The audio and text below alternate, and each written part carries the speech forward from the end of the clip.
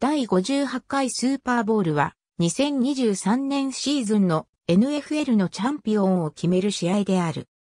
試合は2024年2月にルイジアナ州ニューオーリンズで開催される予定であったが、2021年シーズンからのレギュラーシーズン17試合成功により、開催日が1週間ずれ、大規模イベントと重なるため、2020年10月14日に変更となり新たな開催地は未定である。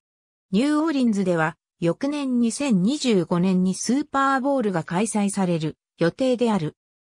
第56回までの開催地は、開催を希望する都市が入札し、オーナー会議の投票で決定するプロセスを採用していたが、第57回、第58回の開催分からは、リーグの方から開催候補地に開催に向けた接触をすることが許されるようになった。リーグと接触し、開催を希望したアリゾナ州アリゾナ州クレンデールとルイジアナ州ニューオーリンズが提案書をまとめ、その提案書に対する無記名投票が2018年5月のオーナー会議において行われた。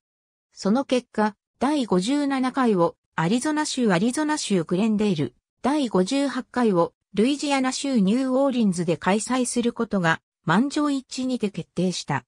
しかし前日の通り、試合数増加に伴い、大規模イベントと重複したため、開催は翌年に移動した。